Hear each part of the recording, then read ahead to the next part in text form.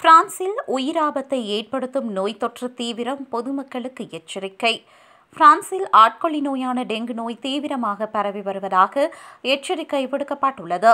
கடந்த ஜனவரி முதலாம் தேதியிலிருந்து இதுவரையான காலப்பகுதியில் ஆயிரத்தி எழுநூறு பேருக்கு டெங்கு காய்ச்சல் உறுதிப்படுத்தப்பட்டுள்ளது.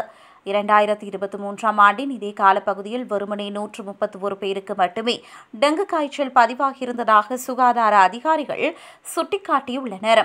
இதுகுறித்து அவதானம் செலுத்த தவறினால் உயிர் பறிபோகும் அபாயம் உள்ளது என்று பொதுமக்களுக்கு எச்சரிக்கை விடுக்கப்பட்டுள்ளது. மேற்கிந்திய தீவுகளில் பரவும் டெங்கு காய்ச்சல் போன்று பிரான்சிலும் பரவுகிறது. ஒலிம்பிக் போட்டிகளின் போது மிகுந்த விழிப்புணர்வுடன் செயற்படுமாறு பிரான்சின் பொது சுகாதாரத்துறை எச்சரித்துள்ளது.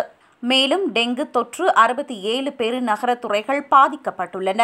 ஏடிஸ் வகை நுளம்புகளின் பெருக்கமே இதற்கு காரணமாகும்.